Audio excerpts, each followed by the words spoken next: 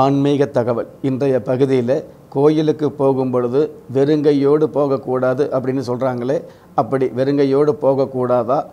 அந்த மாதிரி கோயிலுக்கு போகணும் அப்படின்னா என்ன வாங்கிட்டு போகிறது நல்லது அப்படிங்கிற கேள்வி எடுத்துக்கிட்டோம் அப்படின்னா பொதுவாகவே எந்த ஒரு ஆன்மீக சன்னிதானத்துக்கும் போகும் பொழுது எந்த ஒரு பொருள் அப்படிங்கிறத விட உங்களால் இயன்ற அளவு உங்களுடைய சக்திக்கு உங்களுடைய மனசுக்கு தெரிந்த அளவுக்கு என்ன உங்களால் இயலுமோ அந்த மாதிரியான ஏதாவது ஒரு பொருளை வாங்கிட்டு போனாலே கடவுளுடைய அருள் கிடைக்கும்.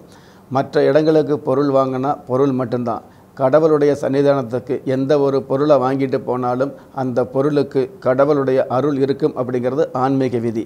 அந்த வகையில் வந்து கோயிலுக்கு போகும் பொழுது அர்ஜனத்தட்டு அதாவது தேங்காய் பழம் பூவு வெத்தலைப்பாக்கு இந்த மாதிரி வாங்கிட்டு போகலாங்க ஆஞ்சநேயர் சன்னதியாக இருந்ததுன்னா வெண்ணெய் வெற்றிலை மாலை இந்த மாதிரி வாங்கிட்டு போகலாம் எந்த சன்னதிக்கு போனாலும் உங்களால் முடிஞ்ச அளவு அப்படிங்கிறத விட உங்களால் முடியாமல் இருந்தால் கூட புஷ்பம் மட்டாவது அதாவது ஏதாவது ஒரு புஷ்பம் குறைந்த அளவில் வாங்கிட்டு போனால் கூட போதுங்க. அந்த புஷ்பம் பூ அப்படிங்கிறத கொஞ்சம் வாங்கிட்டு போனீங்கனாலே உங்களுடைய வாழ்க்கையில் மதிப்பு அப்படிங்கிறது நிச்சயமாக கிடைக்கும் அப்படிங்கிறது நிரந்தரமான விதி.